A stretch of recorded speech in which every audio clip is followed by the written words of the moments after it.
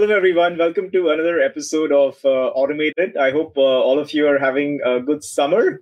Uh, today, we are joined by my dear friend uh, Kent, who I believe is in the States right now and not in Canada. Kent, how are you doing today? I'm trying to be stay cool. It's uh, going to be 114 degrees here in Phoenix today, but uh, I have AC, so so all good from that perspective. Yeah, but perfect. I'm, I'm I'm looking forward to the show. I hear that there's a, a, really interesting demo here today that sort of brings together the technologies near and dear to my heart. So Power Automate and Power Virtual Agents. So I'm, I'm really excited about what we're going to talk about today. Perfect. Yeah. Today, today is all about the art of art of the art of possible. And uh, so we are joined today by a special guest. Uh, we have Daniel, who uh, has been uh, doing his summer internship uh, with us in the Power CAT team and Daniel is joining us from Mexico. He's doing his internship as a sort of a remote uh, employee. And uh, he's had a fantastic three months, I think, in his own words. Like he's he's sort of done a lot of work in the space. And uh, so today, we'll just get an overview of what Daniel has done. You know, trying to show these sort of what I call, you know, there is death by thousand cuts, and there is click by or death by thousand clicks is my new word, where automation COEs, you know, have to sort of do a lot of these mundane tasks like assign license or remove license, check the flow status, check the bot status, get the Power BI report. So they have to do all of these sort of things through different portals. In some cases, they don't have access to portals. And it's it's it's very, very painful. And Daniel has been working on this project on his internship to sort of make that easier. So, with that, Daniel, over to you to introduce yourself and show what you've done.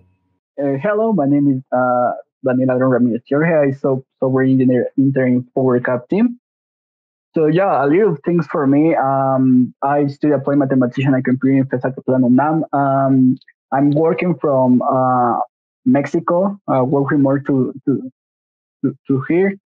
Um, for, for my hobbies, I really love uh, the music. I actually I play uh, instrumental music like a guitar and bass. I really above any subject. I and I love the programming contest. And actually, I participate in ICPC contest, Hackers Club, and CubeJab contest. The goal for for this demo was uh, create a chatbot to help uh, the Center for Excellence to adopt robotic process uh, to help uh, and support the users. So what, one of the uh, things that uh, we see that uh, the Center for Excellence spend a lot of time to do uh, uh, a lot of requests uh, manually. So we can do this request with um, with platform technology.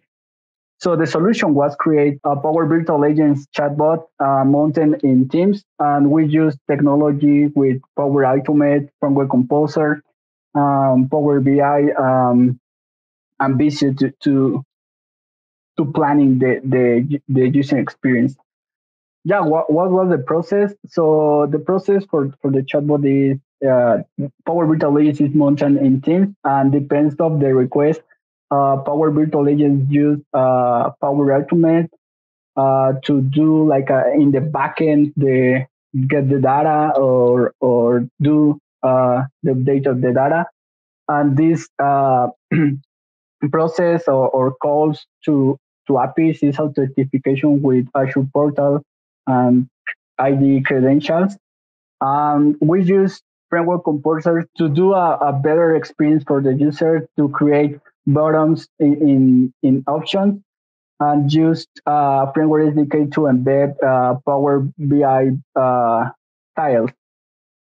So after that, returns th- this information to Power Virtual Agents to show at the user.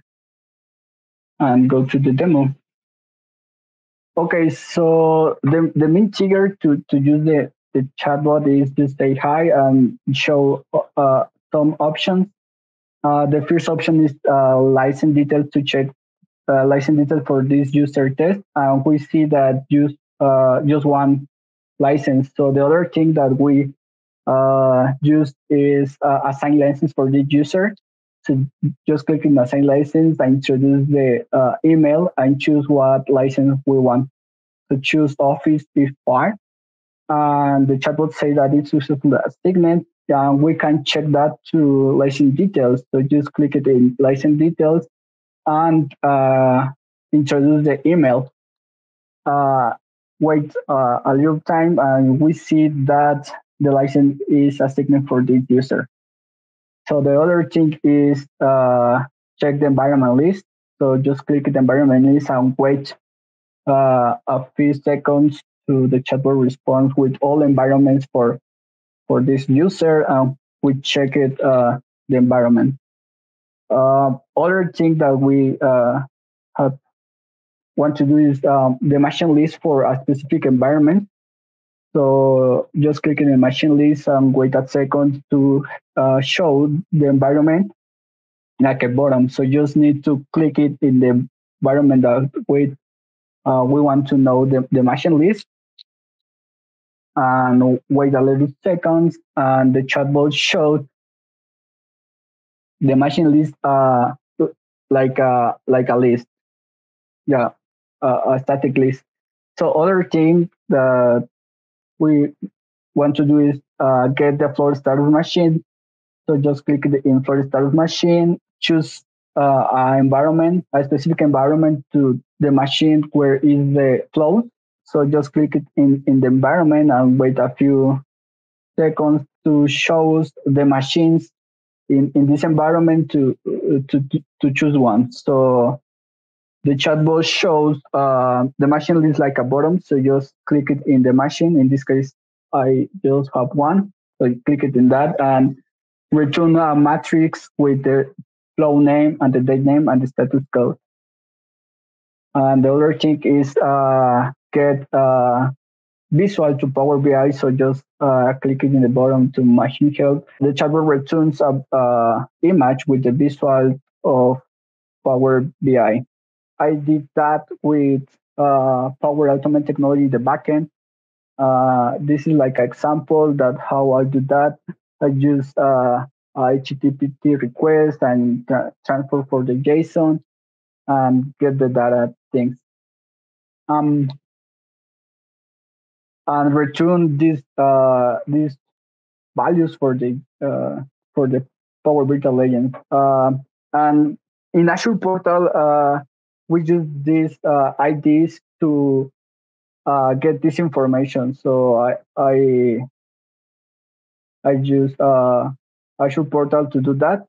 And for the bottom list, uh, I use uh, Framework Composer to get data and transport in bottom to show at the user in in Power Virtual Agent. So here I create like a dialog and just call for from uh, Power Virtual Agent. And here is like a uh, like a little topic that I I did that called difference uh, cloud flows and and the process. I I used uh, variables to know if this uh, flow flow flow flows was successfully. If yes, continue with with the process. If not, show in what uh, Cloudflow uh, Cloudflow uh, done done wrote.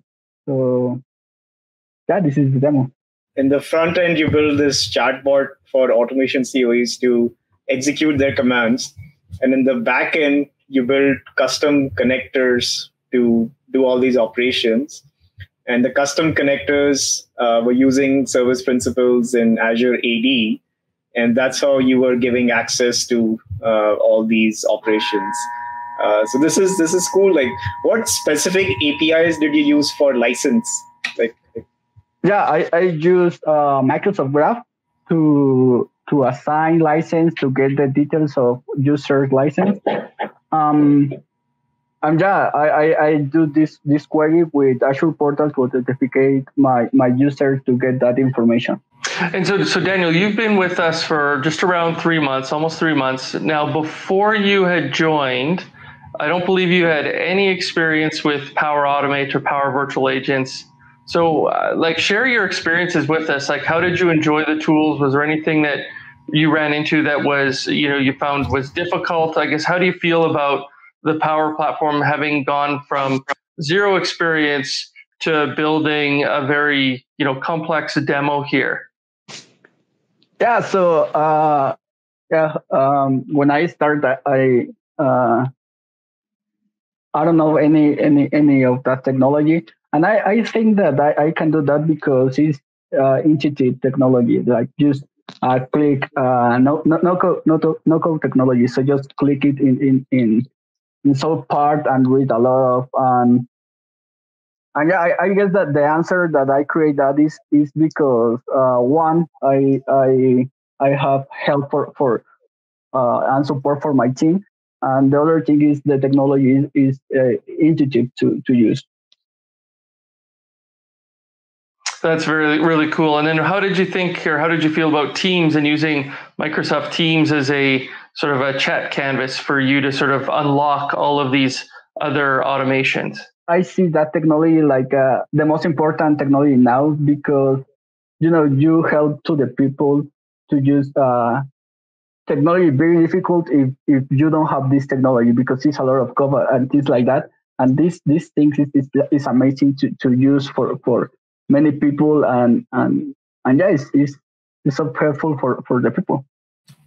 And Daniel, how was your internship experience?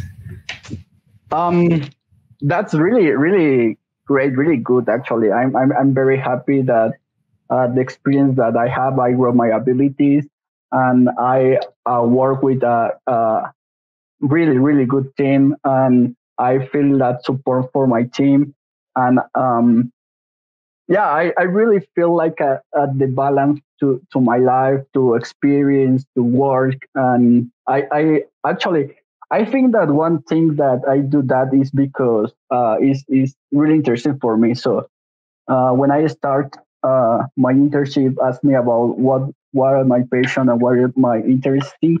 So I, I think that this really helped to build that because uh, if if if you just uh, say me that you, you do that or or you need to to to this to do this task uh, without my opinion or with my interest, it was more difficult. But yeah, it was really really good experience. Well, that's awesome to to hear that, Daniel. It's been a pleasure having you part of the team and working with you and seeing all of this energy and sort of this innovation come to life.